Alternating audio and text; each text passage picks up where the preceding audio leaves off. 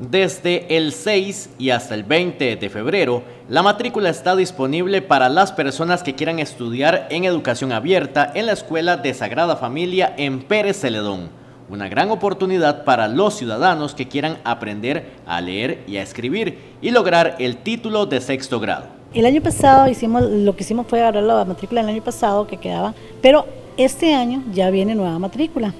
Eh, la matrícula viene en tres, en tres este, turnos. Viene el turno de la mañana, de 8 a 10. Viene otro turno que es de 1 a 3. Y viene otro turno que es de 6 a, a 8 y media, 9, por ahí así anda. Para que las personas que deseen, que tengan el deseo de aprender, que las puertas del centro educativo están abiertas para que... En este centro educativo de Pérez Celedón destacaron la importancia de este tipo de oportunidades de estudio para personas que quieran avanzar en su parte académica.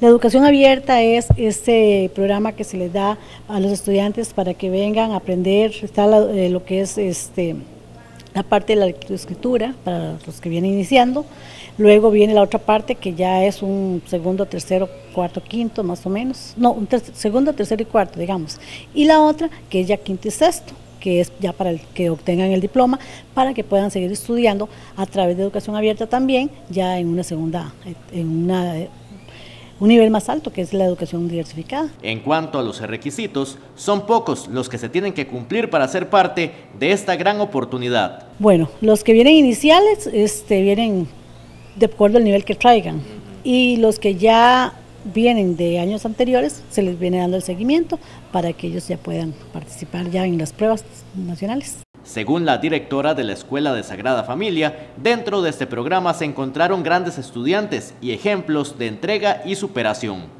Vieras que hemos tenido la oportunidad de tener graduandos muy buenos, un grupo muy bueno. El año antepasado tuvimos un grupo excelente. Inclusive tuvimos la oportunidad de tener a una madre graduándose con su hija, que es algo muy, bueno, mira qué lindo se siente esa parte donde donde uno ve, donde desfilan ambas, primero la hija y después la madre.